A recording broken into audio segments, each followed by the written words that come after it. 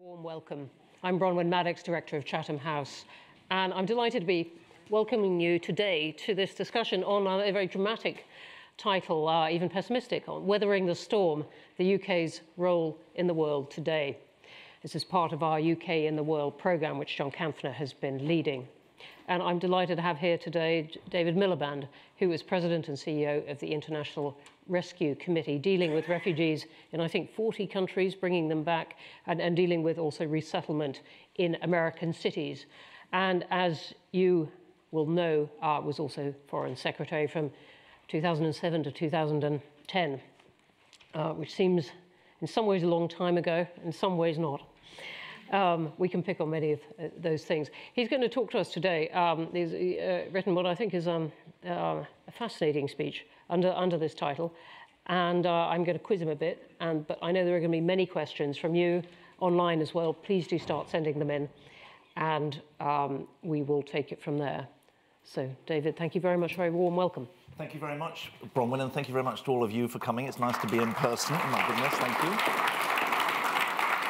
Um, it's nice to be back at Chatham House and nice to be here under your stewardship, uh, Bronwyn, and looking forward to uh, the conversation. I'm pleased to serve on the advisory board of the Britain in the World project, and uh, I'm happy to contribute to the discussion today and really look forward to uh, some of the points that you will make. Here, I want to summarize uh, the argument I'm going to make uh, and the way I see Britain's role in the world. First, that the global context, which I'm going to talk about a bit, is becoming more dangerous. And a coherent British approach to global engagement needs to be based on an understanding of why the global context is becoming more dangerous. Second, that the UK's global influence and capability, but also its reputation, has been seriously undermined by political chaos and economic weakness at home since 2016. The problem is not our global businesses, our global culture, or our global sport. It's our politics, and we need to be honest about that. And thirdly, we need to rebuild, redesign, and reprioritize our foreign engagement at the, government, at the governmental level. And that will take a change of mindset as well as a change of policy. I, as I started to draft the speech, I remembered that in 2007, when I became Foreign Secretary, I said that the UK had the chance to be a quote unquote global hub. We were not a superpower, but we could be a super connector. I made case, that case because of our presence in all the groupings and power centres that matter, because of the fertility of ideas in the UK about how to manage an age of interdependence, because of our global cultural intelligence, security, and development assets alongside our foreign policy skills, and because of our willingness nationally as well as governmentally to commit those assets to global engagement. Now, the fundamentals of that case are not present today, and I think we have to be honest about that. The reality and perception of Britain and its role are both seriously diminished. So the first priority is to stop behaving and talking as if nothing has changed. We do still have global reach and global responsibility. We're one of the richest countries in the world. We're privileged in our position on the UN Security Council. We retain some important global assets. But it seems to me we have an absolute imperative to understand the realities of our power and our responsibility as they are today not as we would like them to be. Our situation, our national situation, the condition of our interests and of our values, including on hot button issues like migration or trade or conflict or development, will get worse, in my view, unless we seriously get our act together. And that challenge of getting our act together is the challenge for our statecraft. And it's what I want to speak about today. I want to just start with my take on the global context because I think it's more important and more interesting than um, is generally discussed. President Biden has said that the world is at a quote unquote hinge point.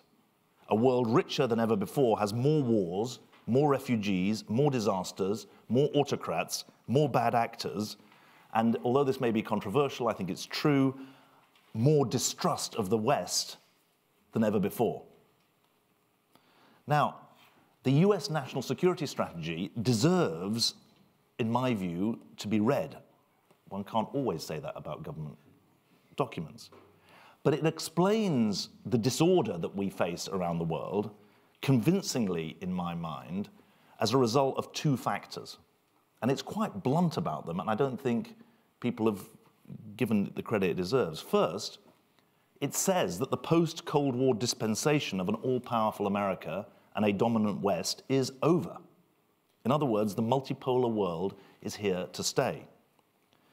I think it's important to say, not just because I'm a resident in the US and need to be allowed back in this afternoon when I get on an aeroplane, um, that America is still strong, very strong in some ways, and so is the West and the best of its ideas. Just ask the people, men as well as women, chanting for freedom in Iran today. So those ideas are strong. But geopolitical rivalry is back, and geopolitical obedience is over. China, for all that the challenges it faces over uh, COVID, and we may come back to that, does now overtly offer an alternative worldview to the Western ideal. A host of countries, some of them allies of the US like Saudi Arabia, others more independent like Ethiopia, will not do as the US wants. And a wide range of countries, including democracies from India to South Africa to Indonesia, are preoccupied in their global dealings with what they see as the failed promises of the West. But here's what I think is interesting it's not just that there is geopolitical competition going on. There's a second reason that the national security strategy of the US highlights for arguing that we're at a global hinge point.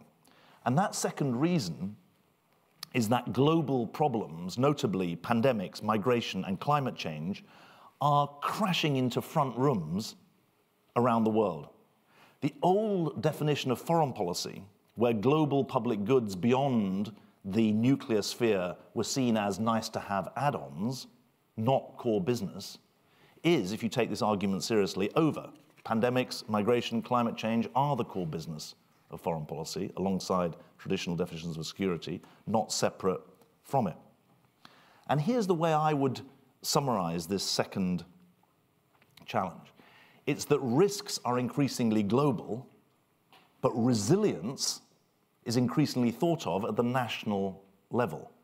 And it's that gap between global risk and national resilience, sometimes nationalist resilience, that needs to be filled. And if you stop and think, the national security strategy doesn't make this point, but I think it's important. Those two forces that it identifies geopolitical competition and fragmentation on the one hand, global risk on the other, they interact with each other, they collide with each other, and multiply each other. Geopolitical fragmentation means that global risks are not properly addressed. The failure to address global risks exacerbates geopolitical competition and fragmentation. So, uh, what I'm putting to you is that there's this vicious circle that you can see. That's why I think it's a dangerous context. So much for that let me turn to Britain and the specifics. What I want to suggest to you is that there are four questions that any serious discussion about Britain's role in the world needs to address and answer. About where we start from, honestly, about what we want, what we stand for, about who we stand with, in other words, who are our allies, and about what we can afford. And too much discussion, in my view, does not take those questions seriously. It's a debate that, in my view, needs to go across all the political parties, but it also needs to go well beyond the political parties, which is one reason I was keen or happy to join the advisory group of the Britain in the World project here. We have, in my view, and I say we as a Brit, we have, in my view, suffered from a time of comforting but ill informed delusions in the last decade. Delusions about our relative power, influence, and position. Delusions that have cost us dear, both strategically and tactically. Uh, Andrew Marr, in his new uh, independent role, where he can say what he really thinks, um, says that we lack a national story and that we need a new national story. I don't think that national story should be mired in talk about decline, but nor can it be founded on delusion. Recent governments, plural, have responded well to the Ukraine crisis, and they would argue they also anticipated some aspects of the Ukraine crisis. Our intelligence was right, our armed forces have added value. But it's hard to think of other areas where we've earned real credit. For example, it would be wrong to characterize the Glasgow Climate Conference of Parties last November as a disaster, but it was far from the success of Paris six years earlier, and we do ourselves no favors by pretending otherwise. In other areas of historic strength, like humanitarian aid and diplomacy, frankly, Britain has gone AWOL. For example, I was in Ethiopia uh, three weeks ago. In 2016 17, Britain played a key role convening as well as funding in staving off famine in East Africa. Today, we're absent, and people notice that. Our influence abroad, based on pragmatism, legality, procedure, stability, responsibility, commitment, has, in my view, been badly tarnished by our own choices. And this is partly Brexit related. I'm thinking of the blithe assertions that we quote unquote held all the cards, the inability to define what Brexit means, which continues to this day, the threats to break international law over the still unfinished business of the Northern Ireland Protocol, the continued threats to legislate domestically to override treaty commitments to the European Convention on Human Rights, despite these commitments being baked into other international agreements, including the Trade and Cooperation Agreement uh, with the EU and the Good Friday Agreement, which underpins peace in Northern Ireland. But it's not just Brexit. This dalliance with breaking international law has extended to uh, thinking about, under the previous Prime Minister, the siting of our embassy in Israel in defiance of Resolution 242 of the United Nations Security Council. It's included the slashing of the aid budget and I don't need to mention it, I think the unfunded tax cuts that triggered the market gyrations of last month, as if somehow Britain was not subject to international rules and norms. Of course, I think it's also important I recognize there's a longer perspective that you could add to this list of errors, including Iraq and the war in Iraq. I get that. But my argument is that Britain in the world has to be about a mindset as well as a policy and the hubris that we've seen about our negotiating strength in Brexit negotiations, our ability to defy the maths of budget and trade deficits, the willingness alleged of Commonwealth countries to defer to British leadership in that institution, or the unlimited bounty of negotiating our own trade deals, that hubris is the wrong mindset. We need instead some honesty. And I recommended to the Chatham House Project this that we do a British version of the European Council on Foreign Relations, what they call their Europe Power Atlas, which takes seven dimensions of power from the military to the technology and asks hard questions about where Europe stands. We need to do the same ourselves, I think, for the UK, and I, I gather that's being done as part of the study, which I think is excellent. It's been said that the Truss government made Britain a laughingstock. In my experience, in the US, it was worse. We were regarded with sadness and pity as well as laughter. And so my take is that we need to reground ourselves, stop shouting great Britain, as the advertising posters do, and start building it or rebuilding it. Second, the framing of our foreign policy interests, what we stand for. And here I depart uh, a little from the US national security strategy, and I want to explain why. At the heart of the national security strategy, or at the beginning of it really, the Biden administration asserts uh, that the struggle between democracy and autocracy is the global issue of the moment. Now, the fact that only 20% of the global population live in countries that Freedom House, which is the, the most respected uh, think tank when it comes to assessing global uh, democratic health, uh, says that only 20% of the global population uh, live in countries that it calls fully free, half the percentage of 15 years ago, should be chilling. But a framing of democracy versus autocracy does not speak to international affairs in a way that I think is optimal. Nor does it speak to concerns outside the West about the mistakes of democratic countries or the weaknesses of them. Nor does it speak to countries that are not fully functioning democracies that we need to work to work with. Nor does it put autocracies on the spot. I would go so far as to suggest that the democracy versus autocracy framing is going to play into precisely the distrust of the West, of democratic countries, that I mentioned up front in my talk.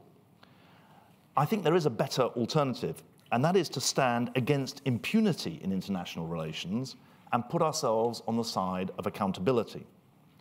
In my view, rules versus impunity is the real debate of international affairs in the decade, not democracy versus autocracy, which is pr primarily a domestic policy agenda.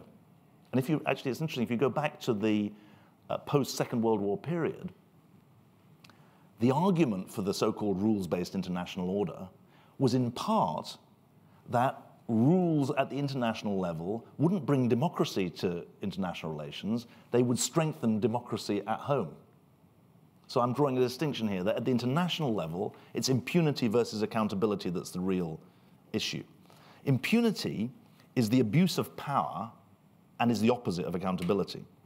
And that abuse today is taking place in the abuse of international law, in the denial of aid to communities in need, because humanitarian aid is a legal right for those in uh, need of it, the undermining of human rights, and the attacks on political freedoms and also on the exploitation of the planet, which I see as an act of impunity against future generations. I'm involved um, in the advisory board of a soon to be released project next month, in, in uh, not yet in December, in, in January 2023, uh, of a project called the Atlas of Impunity. It's going to rank every country in the world on five indicators of impunity conflict, human rights, governance, economic exploitation, and environmental degradation. It's revealing this atlas, both that such an index can provide a comprehensive lens on every country in the world. For, for about 40 countries, only there's less than 60% of the statistical indicators. It's based on about 70 statistical indicators. But for 160 countries, there's a full suite of indicators. But also, I think it's uh, significant that such an, uh, an axis can show where that there's a real battle ahead to curb the, fo the forces of impunity. In my view, the battle for, for accountability and against impunity puts Britain on the right side of the biggest and most difficult political arguments in foreign policy today, from the defense of international law in Ukraine to support for human rights in Iran to north south cooperation on climate change. Of course, the Chinese leadership is hedging on the global system. They want the best of the existing global order and they want options to get round it. In my view, we need to make every effort to ensure that the rules based order is the global system. We need to live by it ourselves and we need to make it strong enough as a magnet to bring in others. And because the rules of the international order commit to justice as well as process, these are existing rules, we should make this the basis of our partnership with countries around the world who don't want to side with China and Russia, but see the West consumed by hypocrisy and self doubt and wonder if they have any choice about the future. From food security to climate finance to peace building, we need to get back on the pitch. Third, alliances. In the US, one hears a lot about the G7 being described as, a quote unquote, as the quote unquote steering committee of the free world. And certainly the G7 has found a new lease of life post the invasion of Ukraine. But I want to stress geography, because this is where we have huge ground to make up. In my view, repairing our EU relationship is vital to the economic repair job that needs to be done at home, but it also matters geopolitically. Although the world is a global village, geography still matters in politics as well as economics. And the strength of our partnership with friends in all continents will, in my view, be strengthened by concerted engagement with our own continent. It's good, in my view, that the last Prime Minister went to the first meeting of the European Political Committee. This is the institution that was created by or invented by President Macron. But it's not enough to attend a meeting. We, I think the Prime Minister, the current Prime Minister, referred to this uh, last night. But it's not enough to, to attend a meeting. We need the right stance. And that stance, to my mind, must embrace, not just accept the fact that our European neighbours are more like us than any other countries in the world. They're more important to us economically than any other countries in the world, and that they are more aligned with our geopolitical interests than any other continent in the world.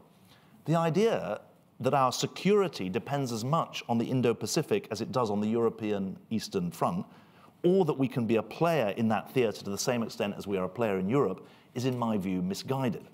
It's as misguided as the idea that Britain is going to be a global regulatory superpower rivaling the EU, the US, or China. It's just not going to happen. In a world where blocs matter, and that is the world that exists today, we need to recognize our interests and act accordingly. This does not mean reopening or renegotiating or relitigating the 2016 referendum. Brexit is a fact. I always feared it would be a net negative, but it did not need to be as bad as this. And foreign policy, geopolitics, and global problems offers a prime area, in my view, where we should be forging common ground with other Europeans. In the last integrated defense review, which was published uh, three years ago, uh, there was a pretense that the EU didn't exist. We need that mindset to change.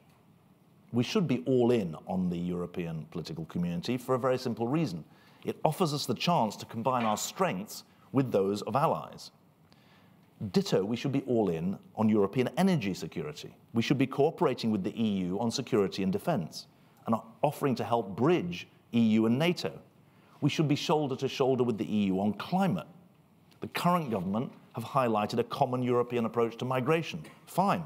That should include minimum standards for refugees and asylum seekers, in my view. In a speech last week, Michael Heseltine said we need a, a minister for enhancing relations with Europe. That actually makes sense. At the moment, if you go to the Foreign Office website, there is a Minister of State for the Indo Pacific and a Parliamentary Undersecretary for Europe. That just doesn't make sense. So, that leaves the fourth and final part of the equation right sizing what we can afford.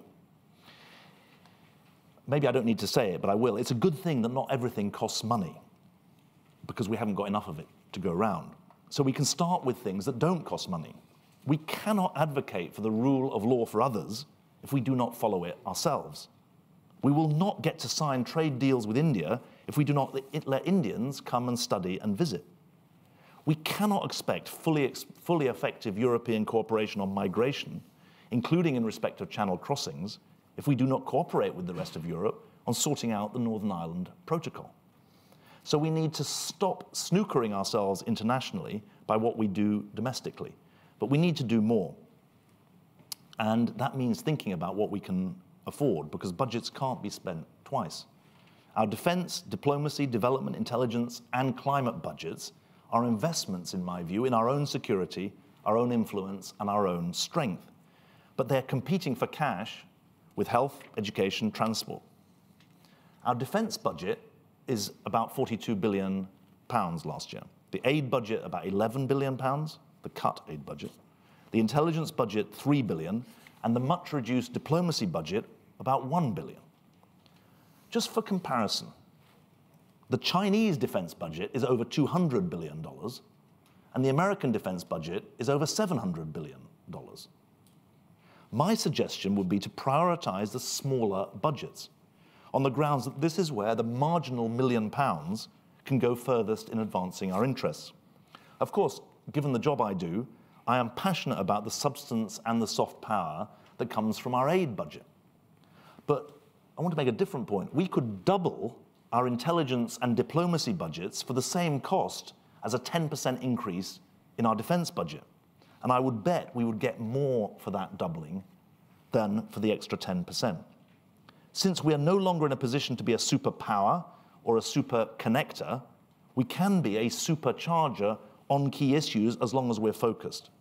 And if we follow this approach, we can debate the priorities. Some people will argue that the priorities should be geographic. For example, East Africa, which I recently mentioned, where Britain is a missing player on problems of regional and global significance. Others will say we should focus sectorally. I would like to see Britain address the climate conflict interface where new thinking is desperately needed. Others will say we could be an institute, we could have an institutional focus. The international financial institutions, for example, desperately need new thinking, and we sit on critical governing bodies.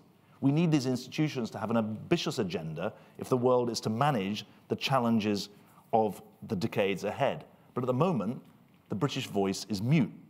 And others will say the priorities can be defined by population groups. I'm, i was here uh, yesterday for the Preventing Sexual Violence in Conflict initiative, and there's a case that thinking about women and girls in the world who are aged 10 to 30 are the next change makers in the world, and you could have a focus on that. In all cases, my argument is we should be guided by the imperatives of speaking with humility, not hubris, of acting with others, not alone, of pursuing a rules based order against the law of the jungle, and above all, ensuring that our domestic actions are in sync with rather than in opposition to our foreign policy aspirations. Let me just finish, Bronwyn, on the following uh, point. One of the problems with the way sovereignty has been defined in the Brexit debate is that it has peddled the illusion that there's a world where our destiny only depends on our own decisions. That world does not exist, in my view. The truth is that our future depends on the interaction of our decisions with the decisions of others. Respect, wisdom, trust, credibility, and imagination are not actually expensive, but they've been sorely lacking as we've cycled through five prime ministers and six foreign secretaries since 2016. We can start by bringing them back, but they need substantive articulation and focus. That, in my view, is the next task. Thank you very much indeed.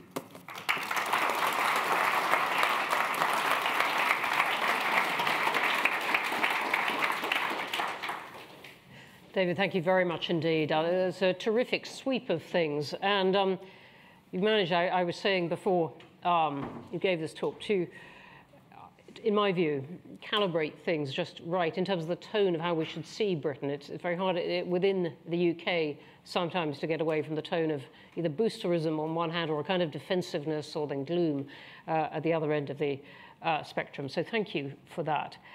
I wanted to put to you one of the, you've, you've cast it also very much in the, in the sense of decisions that governments should take, while I note your last bit about the, you know, the effect of this depends on other countries and other people's decisions as well. What do you think a British government ought to do about migration? Well, I think that um, there are a couple of, first of all, thank you for what you said about um, the, speech, the speech. In respect of uh, migration, um, there's a particular interest that I've got, and then there's a more general point. The particular interest is that in respect of refugees and asylum seekers, Britain should be upholding the best of international commitments rather than seeking to get round them. Uh, we take a relatively small proportion of the world's refugees and of the world's asylum seekers, but we also process their cases very slowly, which I think is wrong. And um, I run a humanitarian organization, but that doesn't mean that I believe every single person who applies for asylum is going to get it. There should be a system uh, it should be run briskly and fairly. And I think the imperative is that Britain is part of an international um, determination to uphold one part of the, the uh, post war settlement, which was that people who are fleeing for their lives deserve sanctuary.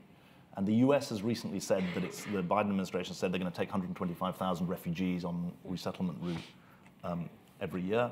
Um, Britain in recent years has taken low single digit thousands. Uh, the last calculation I did was six or seven per parliamentary constituency. No one is going to tell me that doubling or trebling that number is going to. All right, but we're talking, uh, the, you know, the, the, the, past year or so, talking about net uh, immigration of, of, half a million, much of which represents uh, a deliberate choice to take in let me people come on, from U- Ukraine and I said, uh, I've got, a particular, I've, got a, I've got a particular interest of people who are fleeing from conflict. Mm. So there's an agenda around that. Secondly, you've then got a wider set of migration issues. I mean, the Hong mm. Kong uh, mm. uh, example is, is, is one, Ukraine, uh, obviously Afghanistan. Um, on the, on the, uh, on the wider migration point, it's evident that there are significant economic reasons why uh, the country needs uh, migrants to be here, um, and it defends that. Now, we can't, in my view, have a migration policy that, that, that pretends that we're not part of a European continent. And it's vital that we have effective systems that replace those that existed when we were in the European Union. Now, I am not getting into the numbers uh, with you, but and I'm happy if you want to ask me a more specific question. But it seems to me you've got one agenda about people who are fleeing conflict, another agenda about the social and economic needs of the country. It's good that you're happy that if I ask you a more specific question, because um, I um, wonder how you would, as a British politician, if you were still that, persuade people to take these numbers in. You've said, you've said look, we owe it, uh, to, and you've, you've answered particularly in terms of refugees and asylum seekers. Um, and you've said it's also good for the country, it's good for growth. Um, but it remains one of the big points of un unease. I happen to share your views, but it remains one of the big points of unease, one of the, arguably one of the drivers of Brexit, one of the things that this government and, and clearly Labour to some extent are very, very uncomfortable Well, let, us accept that it was, that, that, that there are hmm. concerns uh, hmm. about that. Um, the concerns, I think, are about quote unquote uncontrolled migration, because that hmm. is the spectre mm. that is thrown up. And I think that um, if you look at the debates, not just in this country, but in other countries, mm. The, the, the, sense that there is no national or international controls mm. that exist on migration is a significant part of it. I think there's a second aspect which is very important as well, which is whether countries are, whether other countries are bearing their weight. If you look at the debate in Germany or the debate in Sweden, a significant aspect of the resentment was around what other countries were doing. Mm. Uh, and so I think that we should be very, whether you're in politics or not, it's important, I think, to be very clear that there are legal responsibilities as well as moral responsibilities in respect of those who are fleeing for their lives. There are then national interests in respect of uh, an immigration policy, and those should be addressed in a context in which there is control over who comes in, and that there is a, a an international engagement about who bears the responsibility. Thank you, thank you for that. I was fascinated by your, um, you're putting this weight on impunity, as, as, as you, you put it, and said that you thought that that's where um, the, the international dimension really, really sits. And I wondered who you thought countries then ought to be accountable to, or to what? Uh, if, if, if they're escaping or evading accountability, um, because, you know, in a domestic context, democracies, uh, their governments are accountable to voters repeatedly. Well, but, but, you know, internationally, if you're talking about that, who, who is Britain accountable to for deciding to not to observe a, a treaty other than the other counterparts of that, that treaty? Well, we are, well, first of all, we are accountable to other, you've yes. anticipated yeah. part of where this goes, you're accountable to other uh, to, to, others who are abiding by the treaty, and there are sanctions mm. against, not, not, I don't mean economic sanctions, there's, there's, there's commitments that are made, and if you don't meet them, there's redress for, for others. But let me just pick up this question in something that matters a lot to me. Our staff get killed in the places that we work by combatants in battle, sometimes by quote unquote accident, sometimes deliberately. Uh, we had a, a, really terrible recent case in Ethiopia. We've had other cases in uh, Syria. Now, the accountability there for the people who decided to launch the missile from the drone, or in the Syrian case, launch the missile that hit an, an IRC ambulance from the uh, fighter jet, is pursue is very hard to pursue. But there's a very interesting uh, example in the German court system. They've used the universal jurisdiction provisions mm.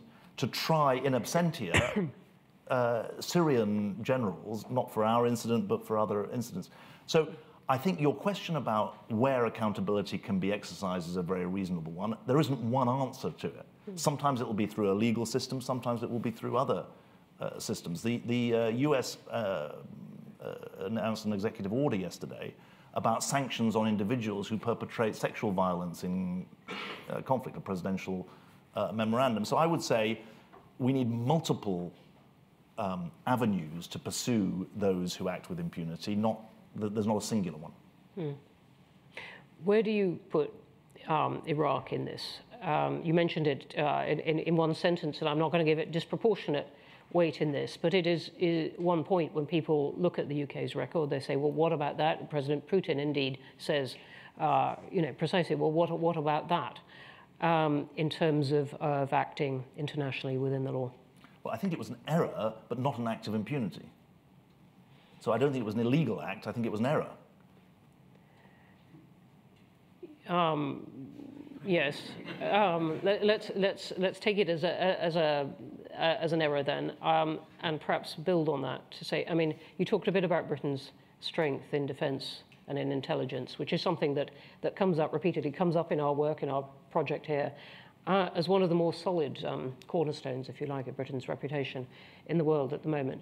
But over, over these, that does hang the question of Afghanistan and, and Iraq.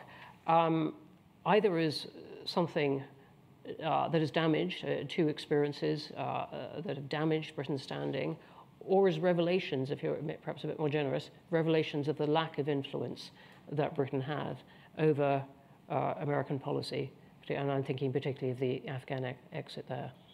And so, in this perspective that you're offering us, where, where do you put these, these, these two wars that did not go to plan, if I can use British understatement? Well, they're an important part of the post Cold War story, uh, I think. And they should be addressed with humility and with openness and with transparency. Now, I have an interesting perspective on, you know, you mentioned Afghanistan. There are 3,000 IRC employees in Afghanistan. Uh, they will tell you that the opportunities and freedoms that they've, be, that they've gained in the last 20 years are something that they want to work to preserve. Yeah. So I think it's a story with texture and with many aspects, uh, but there are clearly, I mean, I, I, argued in office that no military strategy, no development strategy, um, uh, no aid strategy could work without a political settlement that could hold the country together. And that was, that was a lonely furrow to plow at the time because people were saying, no, you've got to win the military battle first and then you've got to do the, the politics. I don't think it works like that. So I think you've got to learn the right lessons as well as telling the right uh, story. So I think the best thing is to be, is to be open and engaged with it. Uh, I served on something called the Afghan Study Group, which was mm. uh, established by the US Congress um, and run under the US Institute of Peace, which foreshadowed many, it was published in February of last year, so it foreshadowed many of the debates that have happened since the fall of the Ghani mm. uh, government. I think that uh, we should be open and we should engage with it. Mm. Um, no, and as you said, engage, engage with um, you know, the things that went wrong. What would you say to British politicians now who are trying to make, as you, as, as, as you put it, uh, the case for being a global magnet for the many things attractive about the UK? On the other hand, it is an undeniably very difficult time to run many democracies, but particularly the UK. The country does not have the money um, to afford uh, many of the things that voters and governments would, would like. Yeah, I mean, I think that obviously the, the home front is the preeminent issue in the front of people's minds, and it's very hard to be strong internationally if you're weak domestically, if you're weak economically, or if you're um, chaotic politically. And so I think the rebuilding does have to start at home. I don't think there's any um, there's any option there. However, I'm I'm nervous or I'm I'm skeptical of the argument that you can just ignore the international dimension. So many of the things that are important to the future of the country have an international dimension, not just a domestic dimension. That the idea that you can take a holiday from foreign policy for the decade and then come back in 2030 and re-engage, I don't think holds. And that's why I think we've got to be able to calibrate an international stance that is becoming for the ambitions we have domestically, but also for the responsibilities that we have internationally. Mm. Thank you for that. Um, we might come back to some of those points, but I wonder if we can turn to questions now, because I think there are going to be a lot. If we could have the lights. Yes, there are loads and loads and loads. Um, I'm going to start there with two on, on, on online, and they're marvellously succinct um, and probably anticipate a point that others are going to ask. One from Dina Mufti, uh, who said, uh, appreciate for this question to be asked on my behalf. How has Brexit impacted the UK economically? Is there a case for the UK rejoining the EU? And along with that, from Robert Elkeluz, it is apparent that Brexit is a disaster for the UK. Why will our politicians not admit this and talk about it? Well, Brexit is not working economically uh, as well as not working. Sorry, do you want me to answer that or do you want to take more? No, Sorry. no, no, no, you answer, you answer those as, they go together. I'm taking them as one. Brexit is not uh, working uh, economically, just as I argued, it's not been helpful geopolitically. Um, it's not working economically because it's not been quote unquote done. Uh, because any business will tell you that there's an enormous amount still to be uh, worked through. There's a, a microcosm of the bigger issue is the story of the European charter mark, the kite mark that applies to, to goods, the CE kite mark, which the current government has repeatedly, or the, or the successive current governments have repeatedly um, uh, said they're going to abolish and replace with a British uh, kite mark, but have then repeatedly postponed the date when that's happened. They've just announced it's going to be postponed until 2023 because they haven't got an alternative uh, to it. And so uh, you don't have to take my word for it. Just look at what the Office of Budget Responsibility or anyone else says 15% reduction in trade intensity, at least a 4% reduction in national uh, income uh, in a very competitive world. And so uh, I would urge people to look at what the US are doing. Just in one, one example of the future of the global economy is going to be partly about uh, decarbonization. Look at what the US is putting behind the low carbon effort they're making through the uh, Inflation Reduction Act. People think it's a $369 billion act. That's only the price on the tin. Actually, it's uh, driven by the number of businesses who make the investments that trigger the investment incentives. There are credible estimates it's, it's going to be worth at least twice the $369 billion. The EU is responding as well. It's very worried that there's a protectionist element, the incentives for production in the US. Britain's not in that conversation uh, at the moment. So I, I think it's, I think that um, the, the, the, the, evidence, the evidence is that Brexit is not done and there are problems that need to be fixed pretty urgently. And I don't know whether the Prime Minister, the current Prime Minister, has the um, wiggle room in his own party to, to, to fix them, but it's, it's essential for the future that, it, that they are. Thanks very much indeed. Okay, let me take two, two at a time. One um, over here. Hi, um, Kim Sengupta from The Independent. Um, there will be a new government here probably in two years' time, judging by the opinion polls, unless there is a huge change in, in public opinion. It not make sense for the EU to wait for that and a Starmer government will have more wiggle room than Rishi Sunak has and would not be so beholden to the ERG or um, the DUP?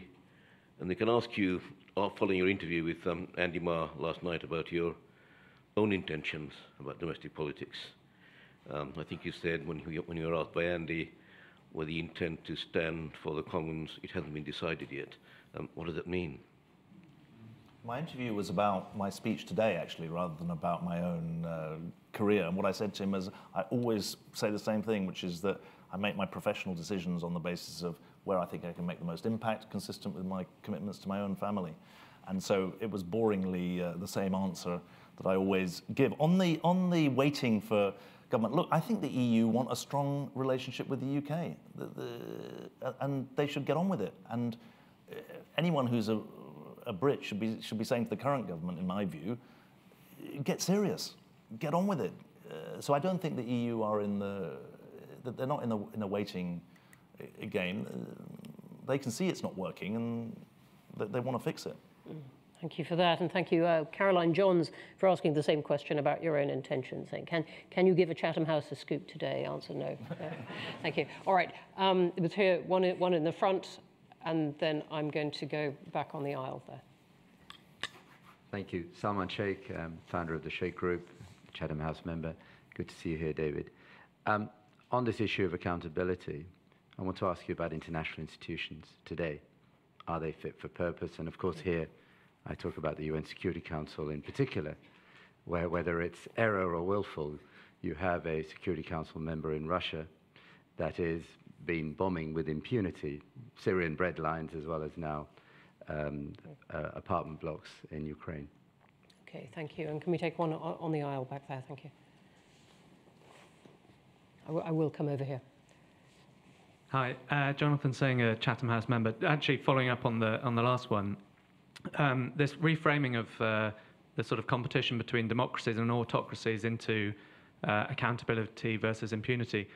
What is the arena of that competition when it comes to the state state uh, state engagement? Are we talking about trying to convince China to follow rules, for example, or Iran or or other autocracies? Are we trying to devise a new rules-based system that uh, countries may choose to align with with instead of aligning with with China. Um, so a bit more on like how, how that works on a state by state level. Mm-hmm. Great questions. Thanks. Accountability, the UN Security Council on Russia, and more into this um, impunity. I mean, look, all of the international institutions, be they political or economic, are uh, desperate need for updating, but the vested interests make it very hard to do so. Salman, you know, 15 years ago, we, there was a, an agenda for reform of the UN Security Council, expanding membership, changing terms, etc. But uh, it's very hard to see that going anywhere. Um, I think that, that, there's a couple of things I would point to in respect of the case that you uh, raised of the, of the, I mean, the, uh, uh, we went through this, um, uh, the IRC with the bombing of Aleppo, and now in, in Ukraine we're seeing the same. Um, two, two things. One, there's a French proposal that the veto in the Security Council should be um, surrendered in cases of mass atrocity. And it's a proposal that's supported by 100 members of the General Assembly, and I'm going to come back to that General Assembly point in a moment. Um, we argued as IRC when we published our emergency watch list last December, and we'll do so again in two weeks' time, in support of that proposal. Now, Britain has not used its veto since 1989 in the um, Security Council. Um, but of course, there's the use of the veto and there's the threat to use the veto or the knowledge that the veto could be used that circumscribes diplomacy even when the veto isn't actually uh, used. I think it would be, um, I think that's a very good proposal and I think it deserves support. Um, and of course, none of the other members of the Security Council are yet committed to that proposal, but I think it's a good one. And I think that the point about mass atrocity is important because, of course, what you, you, often hear is, well, who defines a mass atrocity? Well, that's also something that deserves its own independent assessment. Because one of the things that I know from dealings with the UN is that UN officials are subject to pressure around the world um, because they operate by the consent of the host government in all the places where they are. Um, so there's one thing is about the use of the veto. The second is I think there's um, an important development this year it was a Liechtenstein proposal, I think, which is that whenever the veto is used, the, the issue is referred to the General Assembly. And I think the General Assembly finding its voice is a positive uh, aspect of that. We're thinking at the moment about our this year's watch list and what to do about cases where there's the denial of aid access. Because at the moment, that's happening in the dark, effectively, in a number of uh, places. And so I think thinking about the role of the General Assembly in the UN system is also a fruitful uh, area. I'm not saying abandon UN Security Council reform and wider things, and obviously there's a whole set of other institutions. Um, in respect of the question that was asked about uh, the rules-based system, M my view on this is that we don't need new rules, actually. The rules were set out very, very clearly after the Second World War. Interestingly enough, I'm, I do not know if he's a Chatham House member, but Rana Mitter at, uh, um, at Oxford has written an extraordinary book about um, how the pre 1949 Chinese government, what role they had in the debates about setting up the post Second World War order, and also some fascinating material from uh, under the Xi Jinping presidency of claiming credit for some of the creation of the post Second World War order. It's often described as a Western creation. That's actually not true. It was designed by democracies and dictatorships, capitalist countries and communist um, countries. So I don't think we need new rules. I think we need to uphold the rules that exist. And that's the basis, I think, for any kind of um, effective international system. Now, built into the, the, the built into that post uh, Second World War system was obviously the rights of states, which was a 300-year-old um, commitment.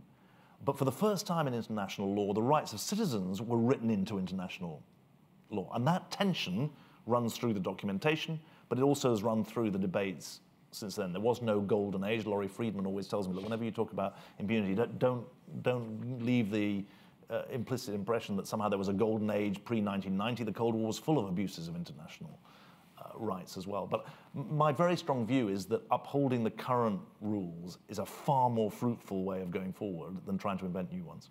And that includes, uh, to answer the, the, the question, trying to persuade China and Iran and others to follow those. Yes, I don't think we should be naive about it. So, quote unquote, how can we persuade China? I think that there's a danger of us sound, uh, of sounding naive about it, but live up to them ourselves. And remember that China has been a beneficiary of the rule. I, I would argue we've been beneficiaries of the rules-based system, but China has been a beneficiary of the rules-based system as well. And um, I think it's the, the, the, the strategic uh, goal for a world that faces the kind of global risks that I've described mm. is to have one system, not multiple systems. Thank you. And I just want to bring in a question on China. Has anyone else got a question on China? Here, they're all on other things. All right, at, at, at the back there, and I'm going to take one online here. Um, uh, Patrick Schneider-Sikorsky, uh, Chatham House member. Um, yeah, I have, I've, I have, a question on our, our relationship with China, and um, I guess it's at what, what, what level should we be engaging with them? Because on the one hand, the more uh, the more the, the, more collaboration, the more trade you have with, with, with your geopolitical rivals, the more likely theoretically they are to become like us. But we've also seen that that doesn't doesn't always work out that way. So where is the how do we strike a balance between strengthening our rivals and engaging with them and perhaps preventing the chance of conflict? Thank you very much for that. And I'm going to weave into that from Celia Maza uh, de Pablo. Mr. Miller, Mr. Miliband, do you share Mr. Sunak's views about China? Thank you. Um, I'll express my own because um, the Prime Minister said yesterday he, he, wants to be robustly pragmatic, as opposed to what kind of pragmatism? I mean, they're sort of floppily pragmatic, I suppose, is the alternative of robustly pragmatic. But uh, uh, the, the way I would uh, describe it is as follows. First, I don't think that it's a fair um, description of the post 1990 approach that there was a kind of, if we trade with China, they'll become like us. I think there were some statements made that were that, that get trotted out. But I think that we should that shouldn't be the basis of our trading relationship. We should trade if we think it's in our interest to do so. Now, secondly, there are areas where trade is completely um, beneficial to both sides, and there are trade. There's trade where it becomes uh, more uh, dangerous and, and difficult, not- notably in the military domain. And what I see um, across the West, actually, the European Union did this. Now the Americans have adopted it. Um, I think it would have been helpful if the Prime Minister had said it last night. There are areas where the relationship between the West and China has that there are red lines of both sides, and it's important for those red lines to be clear. There are areas where there is competition, and that competition can be fair or it can be unfair.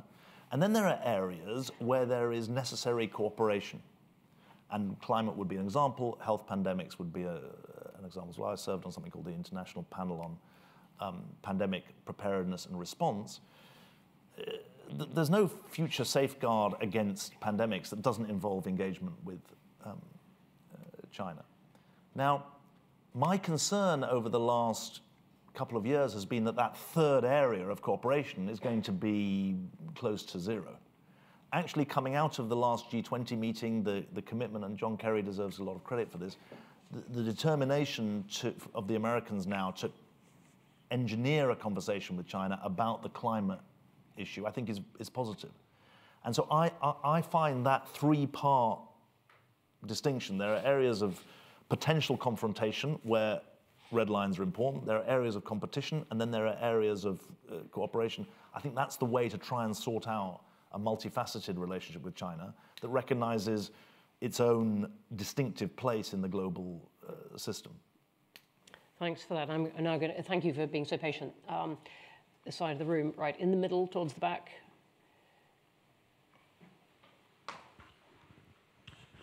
Uh, Sean Curtin, member of Chatham House. Uh, thank you, uh, David, for uh, giving us a sort of roadmap to improve uh, relations with uh, the EU and the wider world. But um, don't you think that a lot of the energy which we could use for this will actually be turned internally to deal with the consequences of Brexit. And I'm thinking here about Scottish independence and the status of Northern Ireland. You mentioned the Northern Ireland Protocol. I would point out the majority of people in Northern Ireland actually are quite happy with the situation as it is at the moment. And of course, Brexit gave us about 62% of Scots wanted to stay in the EU and 56% of people in Northern Ireland. So the problem is that we're going to have to look, deal with those very difficult issues. Thank you. Really good question, thank you. And right in the middle, quite near you, yes. Thanks very much. Christopher Hill, Cambridge University. Um, there have been so many agonising reappraisals of British foreign policy since the 1960s, and arguably they haven't made much difference to the hubris you were talking about. Um, one of them, the Berrill report, said that we should identify with what it called analogue states, of which the most obvious is France. What, in your view, are the significant differences of interest between ourselves and France? I, I just, let me answer the second question first. I did the, every year there's um, an Anglo-French colloque, and um, uh, one year it takes place in. Uh, it's not an intergovernmental thing; it's a civil society um, uh, meeting, and one year it takes place in Versailles, another year it takes place in the UK. And in 2009, Bernard Kouchner, who was the French foreign minister, and I we gave each other's speeches. So I gave the French report on the last year, and he gave the British report on the last uh, year. And the, the, the, reason for making that point is that um, the similarities of our interest are much greater than the differences in our interest. I see that at the UN. Uh, and I see and I see the potential here as well. So my I don't want to be glib about it, but two countries that love, love to rib each other actually do so because they've got so much in common. And so I'm sure that doesn't do justice to uh, Ken Berrill's original uh, report or to your learning on the, um, on the subject. I think that, um, ironically, uh, Britain has always had more in common with French designs for Europe than it has with German designs for Europe. The Germans have been always more federal in their conception of uh, Europe. Mitterrand originally proposed this concentric circles uh, model that uh, the European com political community partly uh, represents. And so um, I feel that uh, while there are there can be differences in some some aspects of global policy, I think that the the overriding interests are um, similar rather than mm. Rather than separate. Um, just in Sean's original question, I mean, one reason I, I would say, and again, I don't want to be flippant about it, but uh, the, the majority of Northern Ireland electors and parties uh, are, are content with the Northern Ireland Protocol because they're in the single market.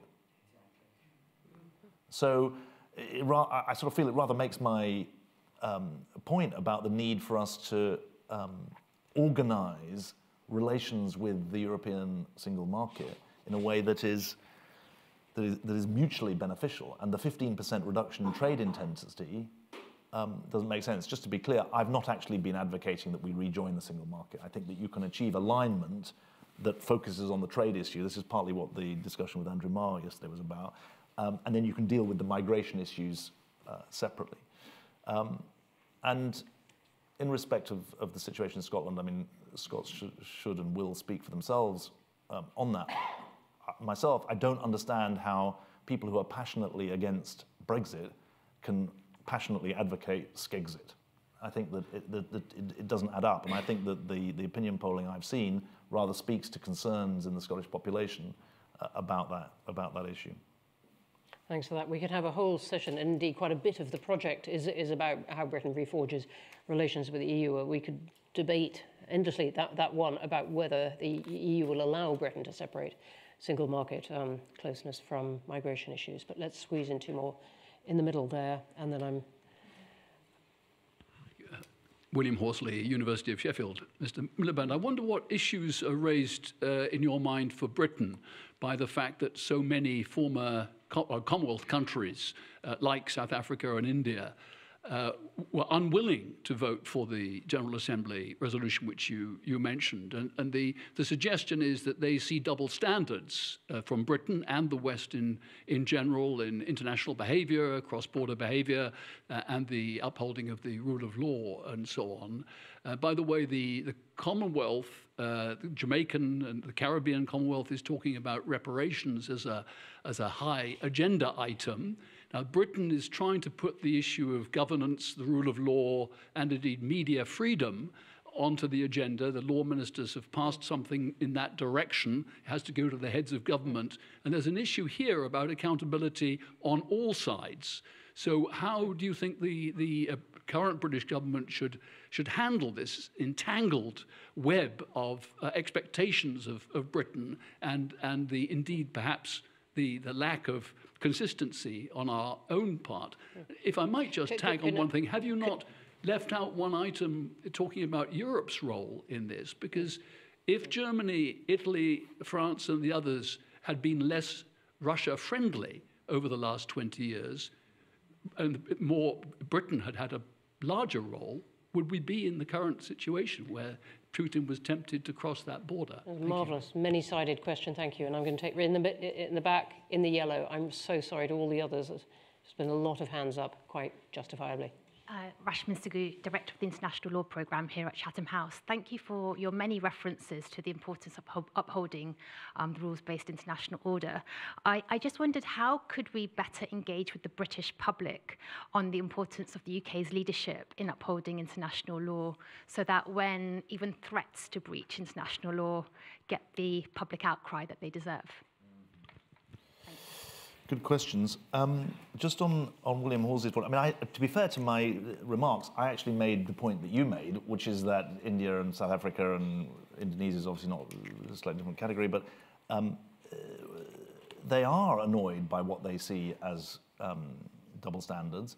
And there is a, but, but my reply is there's an awful lot of whataboutery when it comes to the, the, Russian issue. Now, I actually think there's something very interesting going on, which is if you compare the UN resolution that you referred to, where 141 countries in the UN voted to condemn the invasion, but of the 50 that didn't, they represent about uh, uh, half of the world's population, I think 55%. And they included uh, countries like um, India and uh, South Africa. Interesting thing going on, come the G20 summit uh, earlier this month, there's been a, a pretty significant move that text is much more forward, and um, the, the pain of the war is becoming more evident globally, not just um, not just in Ukraine. I think on the look, it's a separate conversation about Russia, but the, yes, you're right to point out the um, uh, dependent the, the, the argument that was made that Russia was as dependent on Europe for buying its energy as Europe was for, on Russia for supplying it. Um, that, that's a good argument that you made, but the, Russian, the, the, the, the other Europeans would also say to us, look, the UK has got its own fair share of responsibility in not cracking down hard enough on a whole range of Russian money, etc., that's in London. So there's, uh, if, if it gets into a blame game, we're all going to we're all going to lose. There, there, there's pretty significant uh, lessons. I, I think back to 2008, and I think one of the, fir the first thing I had to do in the Foreign Office was decide what to do about the refusal of the Russian government to cooperate in the prosecution of those who murdered Litvinenko. And we took an unprecedented step at the time of kicking out eight Russian uh, diplomats. Um, but I, don't, I didn't believe at the time that Russia could become as great a threat to global order as it then subsequently did become. And I regret not taking more literally as well as seriously the 2007 speech that President Putin made to the Munich Security Conference that flagged pretty clearly some intentions in that uh, regard. I think there was a degree of complacency, if you like, uh, if you like that um, saw Russia as a declining global power and therefore didn't take seriously enough its ability to be uh, such a destabilizing influence uh, globally, which hasn't, as, as indicated, has not just been on, uh, in Europe, it's also been in the Middle East. Um, I mean, the last question is a, is a, is a great uh, is, a, is a great question. Um, I think that the first thing I would say is that when newspaper headlines celebrate the ripping up of the rule of law, not to be cowed by that. I think that's very, very important. Uh, I think, secondly, the um, explanation of the gains that we make from living by a rules based system is very, very important as well and is not done well enough. And you often hear people, I referred this to the question that was asked about China. People often say, well, China's got so much out of the rules based order since. Uh, since 1990, really, since joining the WTO, we've got a lot out of it as well. So I think that, that that's an important um, part of it.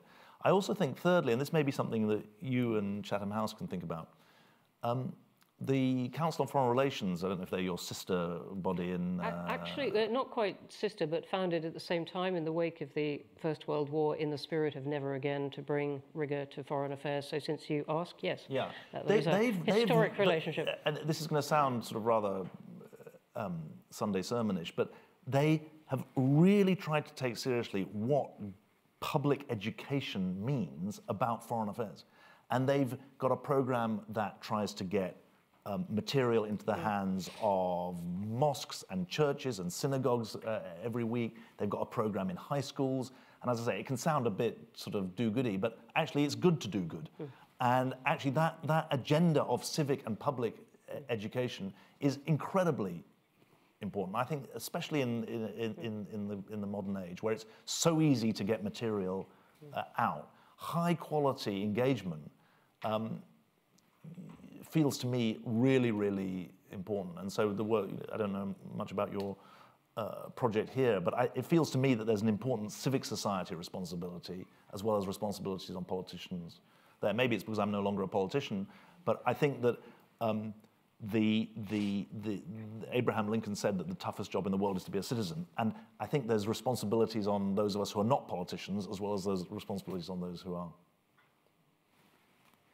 Thank you for that. Well, the international law program here, which um, dates back to the years we're talking about, and in, in fact, um, as a uh, distinguished history of addressing many of these questions. We are sadly going to have to stop now, and I'm so sorry. There's, there have been terrific questions, and I'm sure the others that would follow would be as well. But thank you for those. Thank you for those online, which were great. Um, and thank you all for coming, and please join me in thanking David Miliband.